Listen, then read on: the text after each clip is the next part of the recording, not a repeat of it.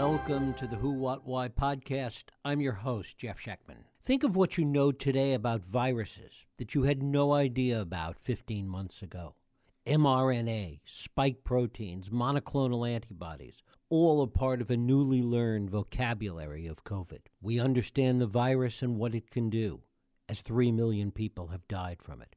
But we also understand the wonder of vaccines and how it can be stopped in its tracks. What we don't know is where it came from.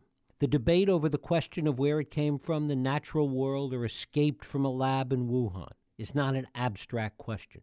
Not for the virus, not for the future of pandemics, which will happen, and not for the geopolitical relationships between China and the rest of the world. Joe Biden has asked the intelligence community to get to the bottom of this, and maybe they will. In a way, it's another example, though, of how politicized the question has become. But to get to the so called bottom of it really requires science. The virus has left many clues, biomarkers, biological footprints that are difficult and complex to understand. But when closely examined, the conclusions become a lot clearer. While there has been more and more reporting on the possibility of the virus having escaped from the Wuhan Institute of Virology, so far the pantheon of such reporting has been the work of my guest, Nicholas Wade. Nicholas Wade is a science writer, editor, and author who's worked on the staff of Nature, Science, and for many years the New York Times. His recent story in the Bulletin of Atomic Scientists and on Medium is the gold standard right now to begin to understand the truth about where COVID SARS 2 came from. And it is my pleasure to welcome Nicholas Wade here to the program. Nicholas, thanks so much for joining us here on the Who, What, Why podcast. Thanks for inviting me. Well, it's a delight to have you here. First of all, talk a little bit about the fundamental options that, that lie before us in terms of where this virus could have come from the natural world or from the lab in Wuhan. Well, the two principal ones um, are natural emergence and lab escape. So, natural emergence is very plausible because the SARS 1 epidemic of 2002 and the MERS epidemic of 2012 both originated uh, from coronaviruses uh, from from bats and uh, particularly SARS-1 that was uh, found in civets. These are animals eaten in Chinese wet markets. Uh, these seem to provide a, a, forecast of what might have happened with SARS-2. So it was very natural from the start to think to consider that it might have originated uh, from bats via some intermediary animal host. So that was one hypothesis that was on the table. And the second, of course, was that it escaped from a lab. The pandemic first broke out in the Chinese city of Wuhan, and there in the toward the center of Wuhan is the Wuhan Institute of Virology, which is a main research uh, center on coronaviruses in China. So lab escapes do uh, occur from time to time. They're they're not infrequent, so it was certainly uh, possible that the virus had come from some uh, experiment in the in the Wuhan lab. Those are the the two principal scenarios. Now, a third one is that the virus had jumped directly from a bat to human, so that's a little harder to get a grip on, and I haven't discussed that so much, but I can uh, uh, try and do so at some point if you would like. We'll come back to that as as we move along. One of the things that, that you talk about is that with, with SARS 1 and with the MERS virus, there was some very concrete evidence with respect to how those viruses evolved naturally. Talk about that. Uh, the, the concrete evidence was uh, uh, firstly that we've uh, uh, located the uh, the bat population from which the, the SARS-1 virus probably came.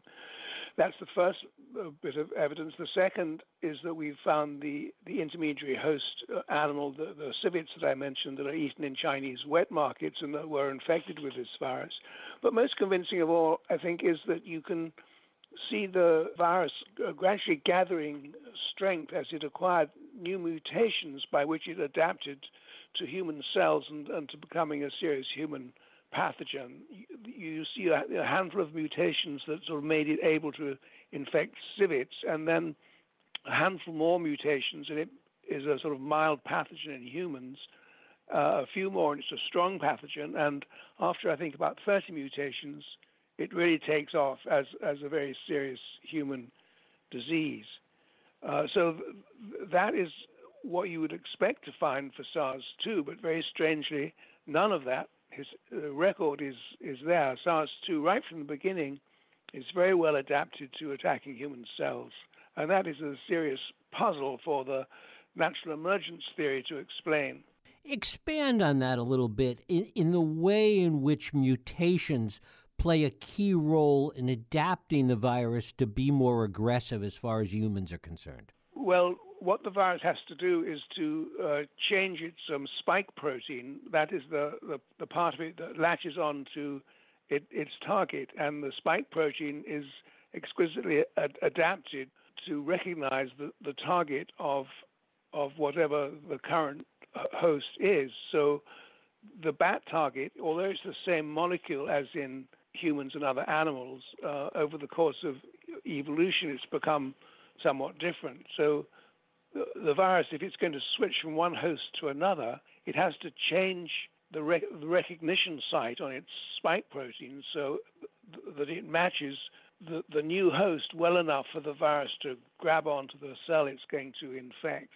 And it makes that change by, uh, in evolution's uh, way, by sort of gathering mutations, by, by waiting for a lucky a change in its uh, nucleotides that will change one of the amino acids in its spike protein and thus enable it better to recognize its new target. And give us a sense of how long it took with respect to SARS 1 and, and other viruses to really identify the host, to really identify how that virus had progressed. How long a period of time did it take scientists to figure that out? Well, it was a matter of months. As I recall, it was like three or four months for SARS-1 and seven months for for MERS. So, so pretty quickly we'd found the traces in the natural environment of, of those viruses making their, their jump to humans. And yet we're now, what, 15, 16 months after the outbreak of, of COVID 19, and we still haven't found a single trace of evidence in the natural environment. How unusual is that? Well, it does seem pretty unusual, at least for coronaviruses. Now, now, there are other cases with which I'm not so familiar. I know it took a long time to find the host population of Ebola, of the Ebola virus, uh, but certainly for the coronavirus, and given the very intensive search you assume that the Chinese authorities made, it certainly is uh, unusual to say the least that they haven't found a shred of its passage in the natural environment. And of course, each month that passes with no such evidence, I think the natural emergence theory uh, looks weaker and weaker. And talk a little bit about the Wuhan lab, about the Wuhan Institute of Virology, and what we know about it and its history. Uh, well, it is the leading uh, institute in China for the study of coronaviruses. Uh, it has a, a, an internationally known researcher there, Dr. Zhengli uh, Shi, uh, who is an expert on sort of finding and collecting these viruses and, and exploring their molecular biology. She's known as, as Bat Lady in, in China uh, because of her intense interest uh, in, in this uh, field. She has been responsible, so far as we know, for all or most of the research into these bat coronaviruses. One of the things you write about is that initially there was tremendous pushback, and you talk about some letters that were written in an article that was published in The Lancet. The pushback to the very notion that this could have been something created in the lab. Talk about that. Well, there was pushback, but it all, all rested on these two letters from two groups, two small groups of virologists, uh, and yet they were tremendously effective. So the first letter was in the Lancet. Um, uh, which uh, derided lab escape as a conspiracy um, theory. Um, it later turned out that letter had been drafted and organized by uh, Dr. Peter Daszak, the president of the EcoHealth Alliance in New York, through whom the NIH channeled its research grant to the Wuhan Institute of Virology. So, if indeed the virus had escaped from the Wuhan lab, Dr. Daszak would be potentially at fault. So he certainly had a conflict of interest, which you would think should have been declared to the readers of the Lancet. It was not, and in fact, the Lancet letter ends We declare no conflicting interest. So that was the, a problem with the first letter.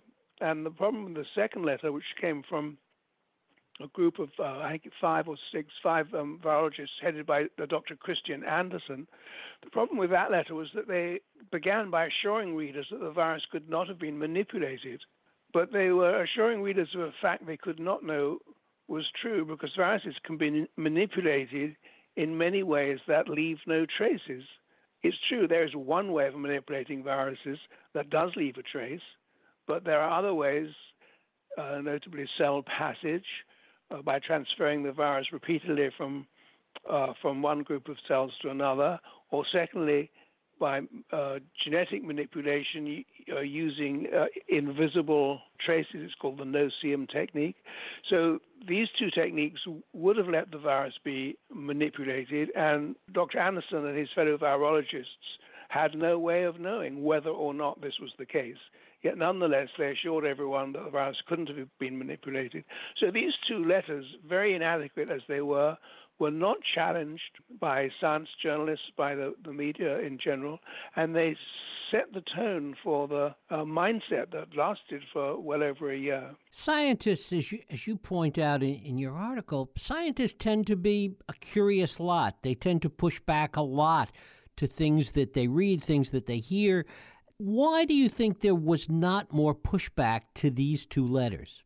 Well, I think as far as the virologists were concerned, they had definitely a lot to lose if indeed the virus does turn out to have escaped from a lab, because it would uh, reflect badly on the general safety standards in virology labs, and more particularly on the whole idea of doing what's called gain of function experiments. That's when you take a virus and you enhance its ability to uh, cause in, infection.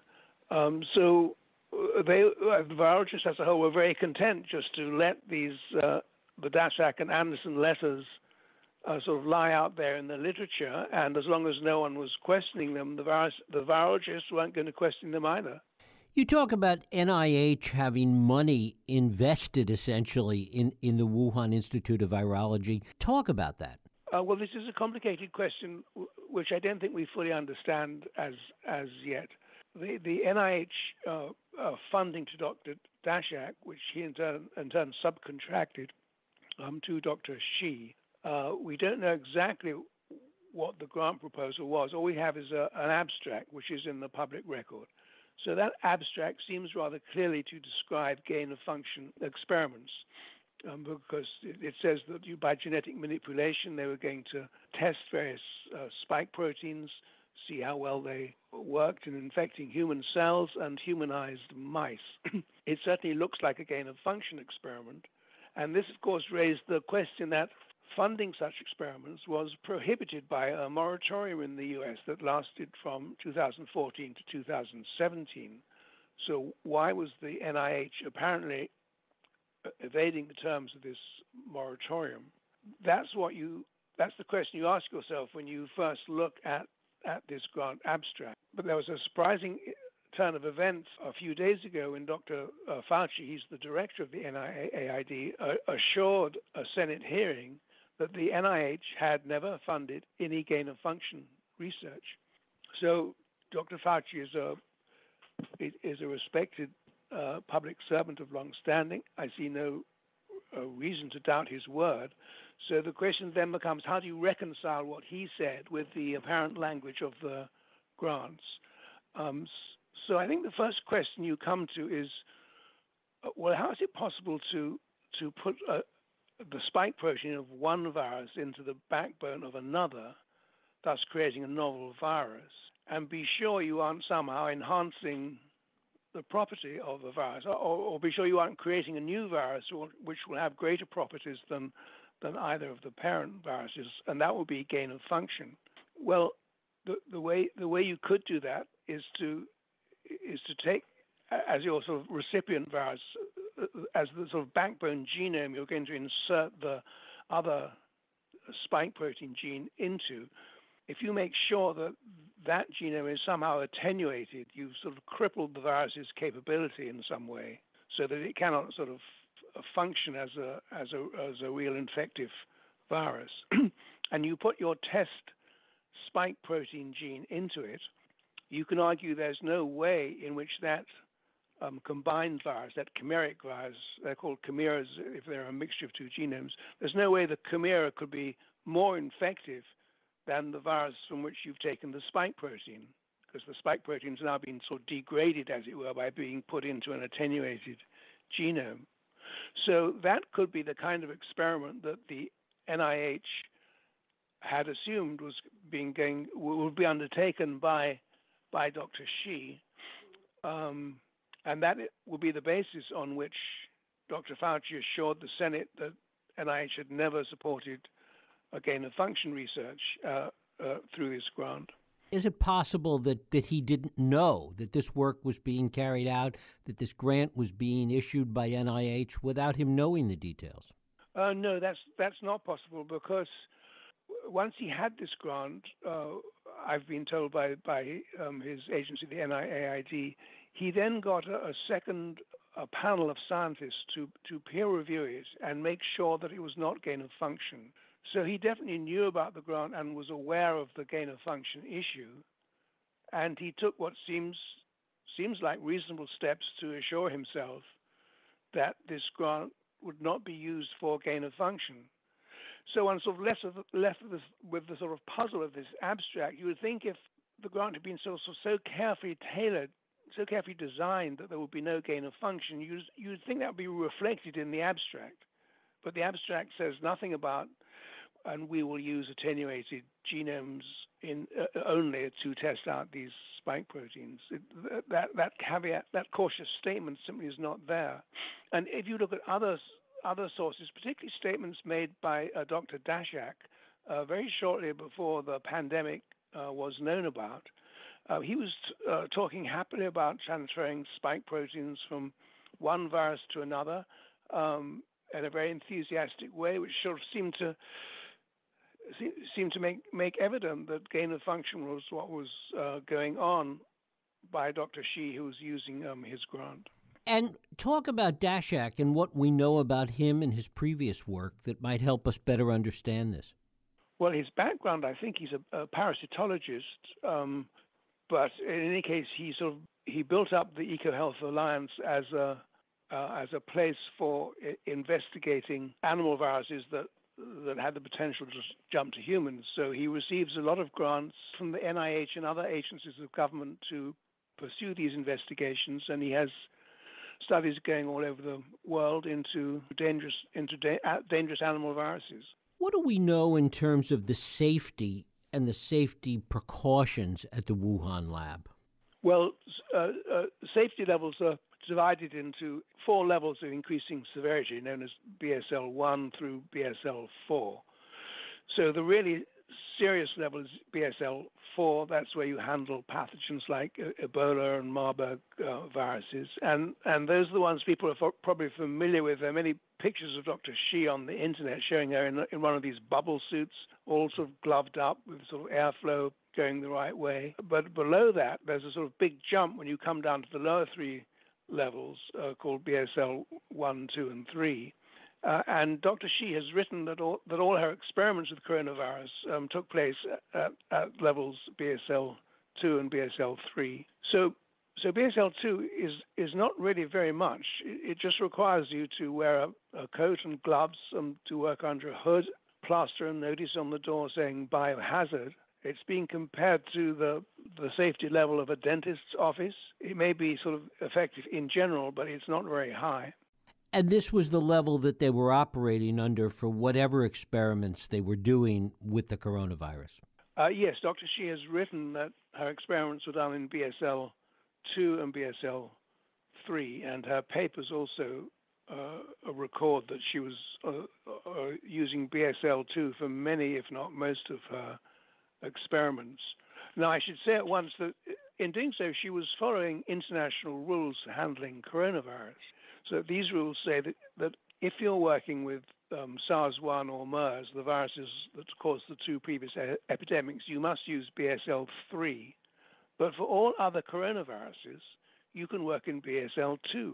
So this seems to me somewhat illogical in that if you create a novel coronavirus in BSL-2, then it could well be more infectious than you uh, expect and could be as dangerous, or if not more dangerous, than SARS 1 and MERS. So you would be finding yourself having generated a virus uh, in totally inappropriate safety conditions. And this is what may have happened in the Wuhan lab. And it is not unusual, it's rare perhaps, but not unusual for a virus to escape from a lab. Uh, yes, exactly. There's a long record of viral escapes from labs, even highly dangerous viruses like smallpox, which everyone knows to be immensely careful of. Um, uh, smallpox escaped twice from a, lab in Britain. There's been about sort of one one escape a year ever since, and that's just escapes we know about. I mean, there's reason to believe that lots of these escapes are not reported. The, the case of SARS-1 is particularly uh, uh, interesting, and this virus has already escaped six times, four of them from the Beijing Institute of Virology.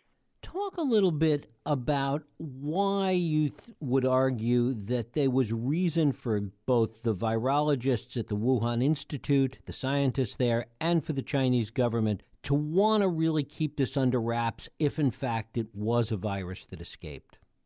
Well, I suppose you could say in retrospect that the best thing to have done if it if it were an escape virus was to come clean immediately and tell the world what had happened, do your best to clear it up, and and one probably could have gained the world's sympathy because, after all, Dr. Shi, as I said, was working under international rules.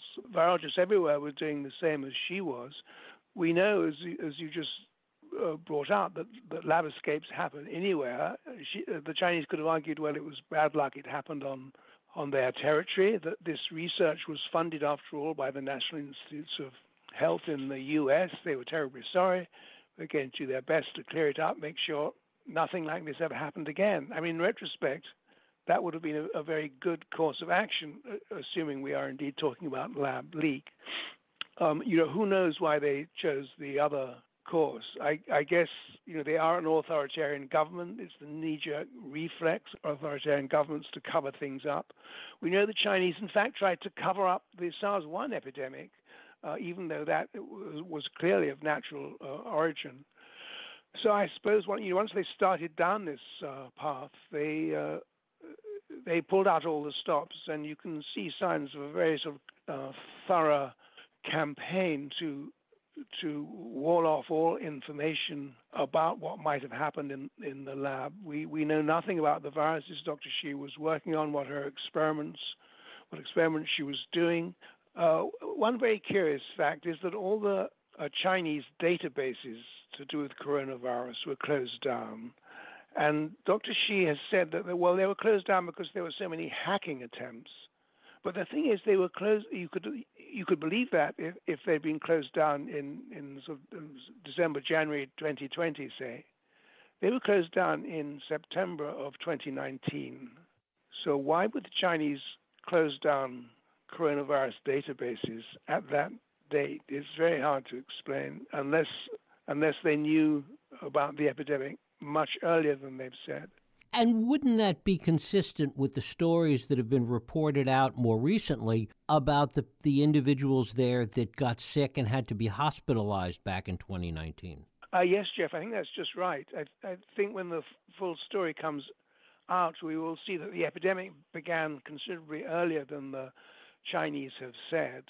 So these recent stories, in fact, they did come out several months ago, but have been sort of reinterred.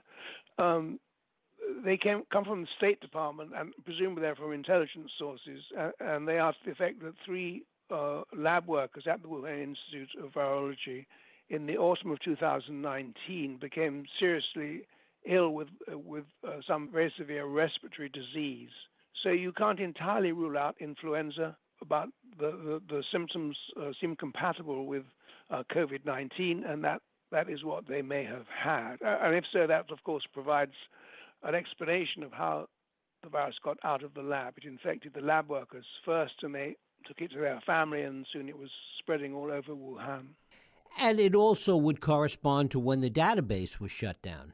Yes, exactly. It's complicated, I know, and it, in your story, it's even difficult to grasp it for those of us that are not scientists. But talk a little bit about the virus itself and what it exhibited in ways that might lead one to believe it was something created in the lab, it was something created through this gain of function method?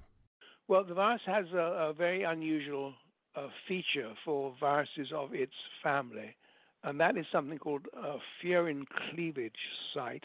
Uh, so when the virus attacks a human cell, um, its spike protein, which consists of two parts, one part has to latch on to the target on the surface of the human cell, and the other part, uh, these things are called S1 and S2, the other part, S2, then has to help the virus's membrane fuse with the membrane of the human cell so that the virus can inject its nuclear material into the cell and command it to make more viruses.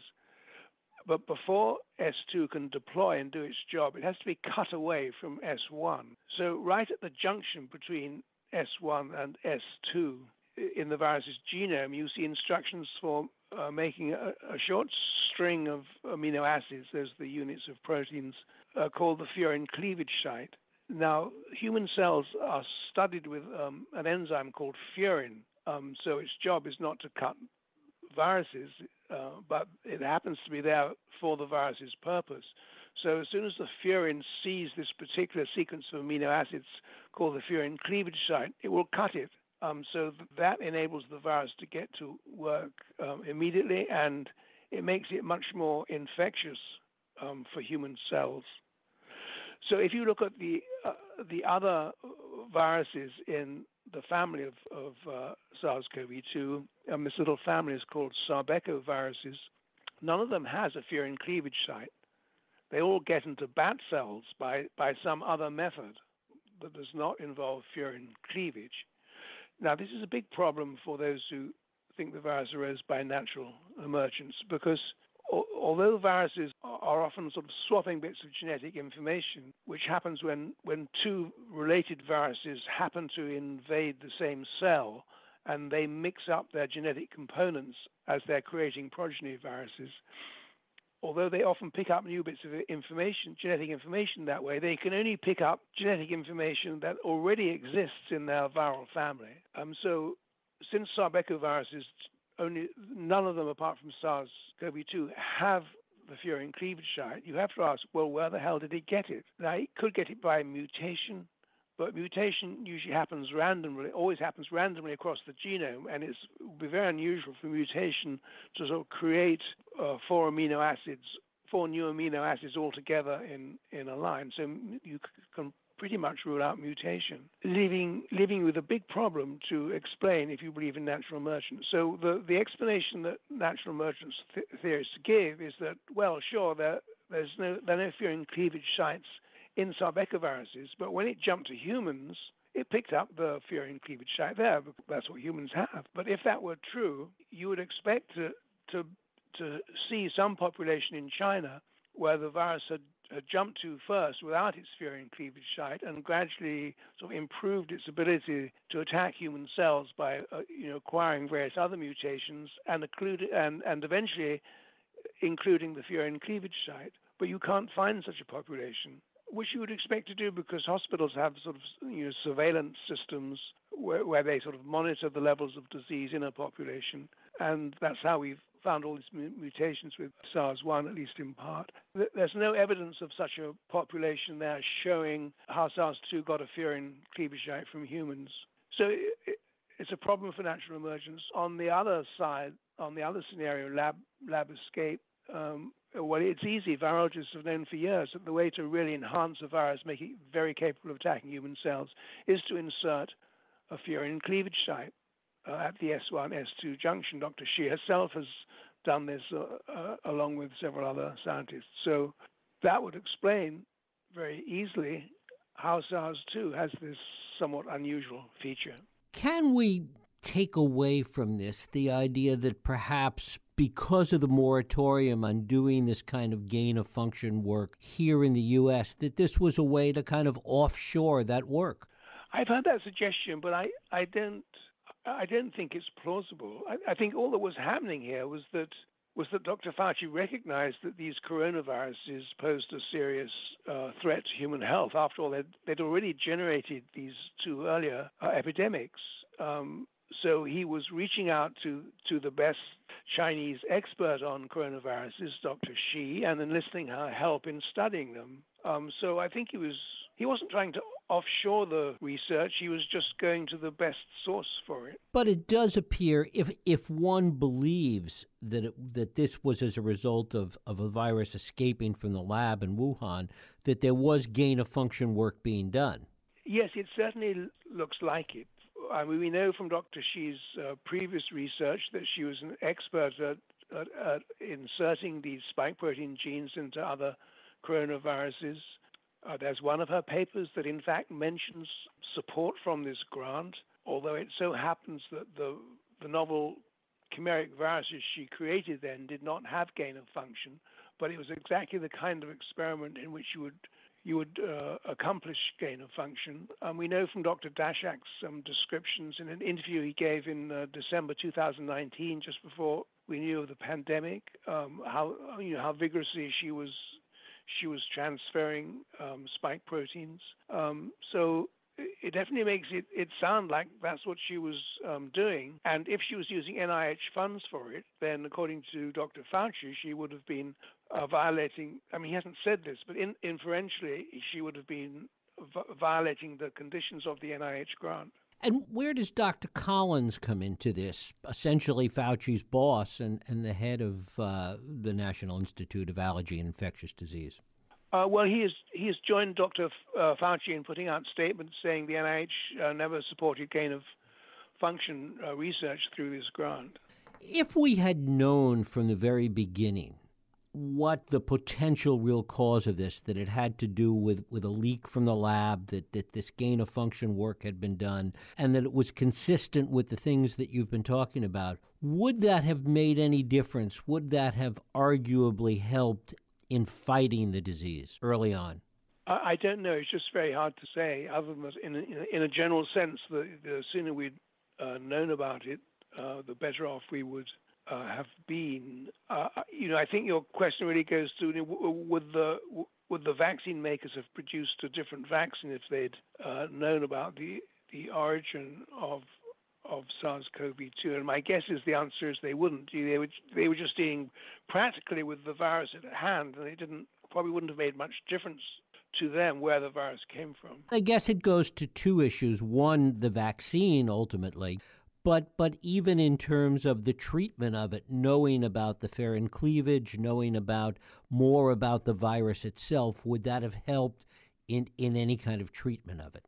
Well, uh, yes, it might have done. You know, I'm probably speaking beyond my um, exact knowledge, but I, you know, I think the furin cleavage site, because furin is so common in human cells, that furin cleavage site sort of expands the range of the virus, so it's not restricted to airway cells uh, as other respiratory viruses are. It can also attack brain and and other organs. So I guess if we'd if we'd known the furin cleavage site had been inserted well, but I mean, we, we knew that. I'm backtracking on, on sure, sure, it's okay. Thought. Um, you know, it was recognized from the start. Although very curiously, Dr. Shi did not mention the presence of the furin cleavage site in her first paper about the virus, which you would think uh, stood out a mile to any competent virologist. We we did know very shortly after the after this, the sequence was published that there was a furin cleavage site there, and any virologist could see it. So I, I didn't I didn't see that it would have made much difference to the various treatments uh, uh, and especially the vaccines that, that were produced. What is your sense of what this tells us for the future of work being done with viruses around the world? Well, in one way, it tells us how, how dangerous they are and how how comparatively it e- easy it is to to make them even more so. So, biologists have long been you know warning that that genetics provides the route to the, the poor man's nuclear weapon. And we've certainly seen how destructive this virus is. So I, I think it uh, is going to make people focus on how better to prevent the spread of tools that might allow freelancers to to manipulate viruses. Um, that's on the sort of terrorist side of events. Uh, on the public health side of events, um, I guess we already knew that, that we're, we're seeing an increasing number of these viruses emerging from animal hosts to humans as we destroy or invade the habitats of animals that harbor these viruses. So it just puts us on, on guard, I think, that this is a continuing danger.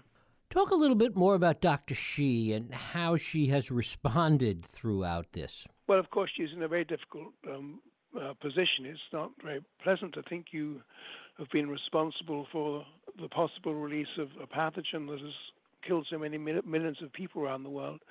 Doc, Dr. Shi is uh, simply denying that the virus came from her, her lab. I guess she, she doesn't have a lot of freedom in what she says. She has to go along with the uh, official Chinese verdict of what happened, and there is no you know light between what she says and what the Chinese government says. She did respond recently to the uh, the, the, May 14 letter from the group of uh, of leading scientists saying that lab leaks should be investigated. She did respond in an email to the MIT Technology Review um, saying that uh, it was sad to read this letter, that there was no way of finding evidence for something that didn't exist. It was quite unacceptable for people to want to look at her lab um, records. So it was it was just a, a, a stonewall. If in fact this did not happen from the lab, if it happened naturally, what should we be concerned about then, given that there isn't the path that was normally taken by these things, as you talked about with SARS 1? Um, well, that's a very good point, and we should certainly keep our mind open to the possibility that it's natural emergence. That's still on the table. There's no direct evidence for lab escape.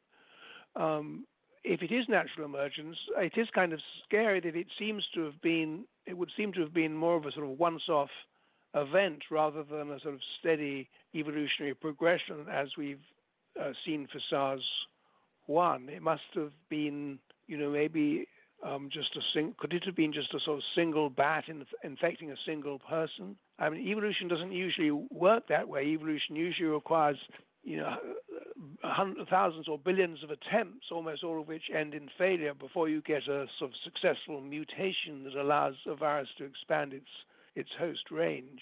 If COVID-19 came to us through a sort of single such mutation, it sort of it's going to be much harder to find how that happened, and it's going to be almost impossible to prevent future occurrences.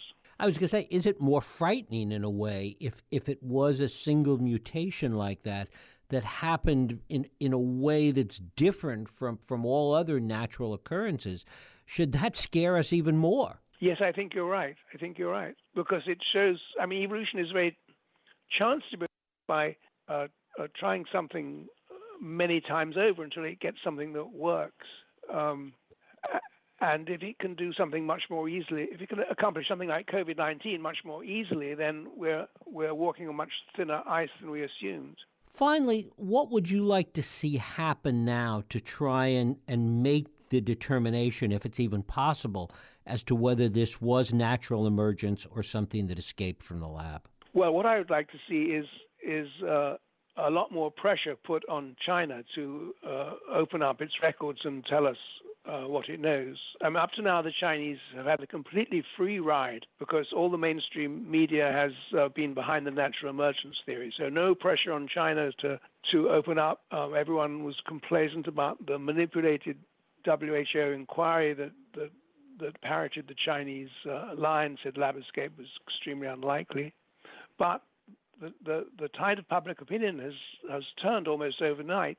So if we can get things like the intelligence uh, uh, report that uh, President Biden has commissioned, and probably more important, if we could get credible groups of scientists convened, I don't know, by the National Academy of Sciences or by the Royal Society in, in London to look into this issue with an open mind and to arrive at the conclusion that yes, on present evidence, lab escape seems more likely. All these kind of findings I think would build pressure on on China to open up its uh, the records of the Wuhan Institute and come clean. I mean, I'm not saying that's likely, but it seems to me possible and certainly worth trying. Why do you think public opinion has changed so quickly? Oh, it's very strange. I, I really have no explanation.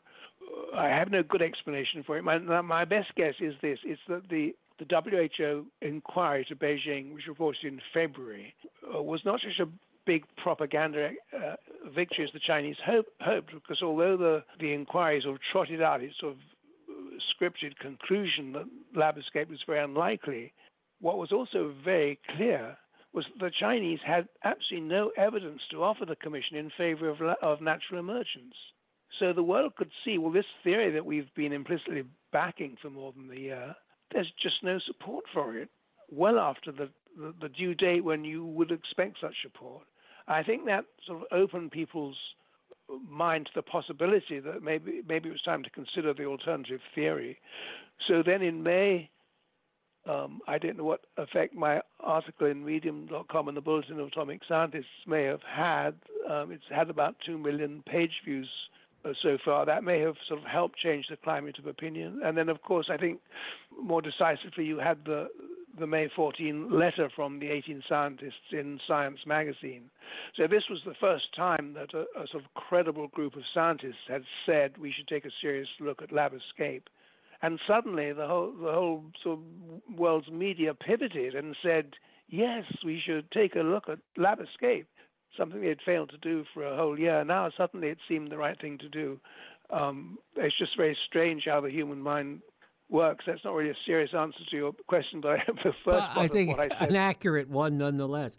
Nicholas Wade, I thank you so much for spending time with us today. You're very welcome. Thanks for inviting me on your show. Thank you. And thank you for listening and joining us here on the Who, What, Why podcast. I hope you join us next week for another Radio Who, What, Why podcast. I'm Jeff Schechtman. If you like this podcast, please feel free to share and help others find it by rating and reviewing it on iTunes.